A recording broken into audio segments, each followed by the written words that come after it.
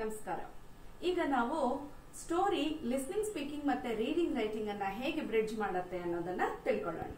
ನಮ್ಗೆ ಈಗಾಗಲೇ ಗೊತ್ತು ಸ್ಟೋರಿಯನ್ನ ಇ ಎನ್ ಕೆಯಲ್ಲಿ ವಿಶೇಷವಾಗಿ ಹೆಣೆಯಲಾಗಿದೆ ಅಂತ.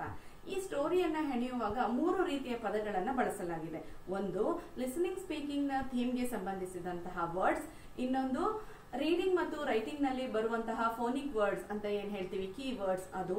ಮತ್ತೆ ಮೂರನೇದು ಸೈಟ್ ವರ್ಡ್ಸ್ ಅಂತ ಏನ್ ಹೇಳ್ತೀವಿ? ಅದು. ಈ ಮೂರು ರೀತಿಯ ಪದಗಳನ್ನ ಬಳಸಿಕೊಂಡು ಸ್ಟೋರಿಗಳನ್ನ ರಚನೆ ಮಾಡಲಾಗಿದೆ. ಇದನ್ನ ತರಗತಿಯಲ್ಲಿ ಹೇಗೆ ಬೋಧನೆ ಮಾಡುವಾಗ ನಾವು ಹೇಗೆ ಬ್ರಿಡ್ಜ್ ಮಾಡ್ತೀವಿ ಅನ್ನೋದನ್ನ ಈಗ ನೋಡೋಣ. ಫಾರ್ ಎಕ್ಸಾಂಪಲ್ ಮಾನಸಾಸ್ ಫ್ಯಾಮಿಲಿ ಅನ್ನುವಂತಹ ಥೀಮ್ ಲಿಸ್ನಿಂಗ್ ಸ್ಪೀಕಿಂಗ್ ಅಲ್ಲಿ ನಡೆಯುವಾಗ ರೀಡಿಂಗ್ ಮತ್ತು ರೈಟಿಂಗ್ನಲ್ಲಿ C O A P T milestone ನಡೀತಾ ಇರುತ್ತೆ. ಹೀಗಾಗಿ ಮಾನಸ ಫ್ಯಾಮಿಲಿಯಲ್ಲಿ ಬರುವಂತಹ story C O A P ಟಿಯಲ್ಲೂ ಕೂಡ ರೀಇನ್ಫೋರ್ಸ್ ಆಗತ್ತೆ. ಈಗ ಮಾನಸಾಸ್ ಫ್ಯಾಮಿಲಿ ಅನ್ನುವಂತಹ ಥೀಮ್ಗೆ ತೆಗೆದುಕೊಂಡಿರೋ story Toto and the cap ಅಂತ.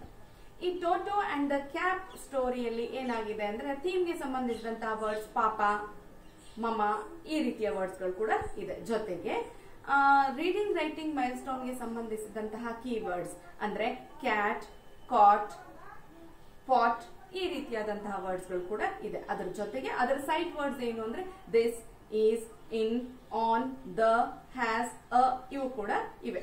ಇವುಗಳನ್ನ ಹೇಗೆ ನಾವು ಕಲಿಸ್ತೀವಿ ಅನ್ನೋದನ್ನ ನೋಡ್ತಾ ಹೋಗೋಣ.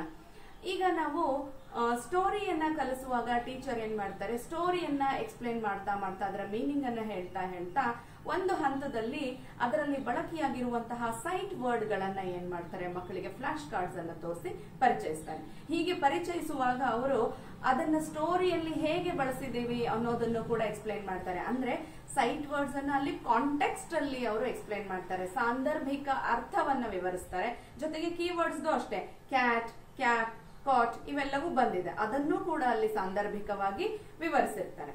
ಅದೇ ವರ್ಡ್ಸ್ ಏನಾಗುತ್ತೆ? ರೀಡಿಂಗ್ ಮತ್ತೆ ರೈಟಿಂಗ್ನಲ್ಲಿ ರೀಇನ್ಫೋರ್ಸ್ ಆಗುತ್ತೆ. ಆಗ ಮಕ್ಕಳಿಗೆ ಏನಾಗುತ್ತೆ? ಸೈಟ್ ವರ್ಡ್ಸ್ ಅನ್ನ ಪರಿಚಯಿಸುವಾಗ ಟೀಚರ್ ಏನ್ ಮಾಡ್ತಾರೆ? ಸ್ಟೋರಿಯನ್ನ ರಿವೈಸ್ ಮಾಡ್ತಾರೆ ಇನ್ನೊಂದ್ಸಲ.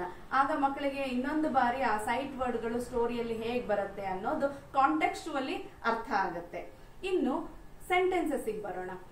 ಕೀವರ್ಡ್ಸ್ ಮತ್ತೆ ಸೈಟ್ ವರ್ಡ್ಸ್ ಅನ್ನ ಬಳಸಿ ಕೀ ಸೆಂಟೆನ್ಸಸ್ ಗಳನ್ನ ಮಾಡಲಾಗಿದೆ. ಈ ಕೀ ಸೆಂಟೆನ್ಸಸ್ಗಳು ಸ್ಟೋರಿಯ ರೀಡರ್ನ ಬಲಭಾಗದಲ್ಲಿ ಪ್ರಿಂಟ್ ಮಾಡಲಾಗಿದೆ.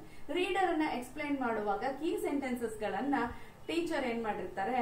ಬೆರಳಿಟ್ಟು ಓದಿ ಹೇಳ್ತಾ ಮಕ್ಕಳಿಂದ ರಿಪೀಟ್ ಮಾಡಿಸಿರ್ತಾರೆ. ಆಗ ಕೂಡ ಸೈಟ್ ವರ್ಡ್ಸ್ ಮತ್ತೆ ಕೀವರ್ಡ್ಸ್ನ ಮಕ್ಕಳು ಕಾಂಟೆಕ್ಚುವಲ್ ಆಗಿ ಅರ್ಥ ಮಾಡ್ಕೊಂಡಿರ್ತಾರೆ. ಮತ್ತೆ ಅದೇ ಸೆಂಟೆನ್ಸಸ್ ರೀಡಿಂಗ್ ಅಂಡ್ ರೈಟಿಂಗ್ನಲ್ಲಿ, ಆ ಮೈಲ್ ಸ್ಟೋನ್ ಅಲ್ಲಿ ಅದು ರೀಡ್ ದ ಸೆಂಟೆನ್ಸಸ್ ಆಕ್ಟಿವಿಟಿಯಲ್ಲಿ ಬರುತ್ತೆ. ಹೀಗಾಗಿ ಮಕ್ಕಳು ಇಲ್ಲಿ ಕೇವಲ ಪದಗಳನ್ನ ಕಲಿಯೋದಿಲ್ಲ.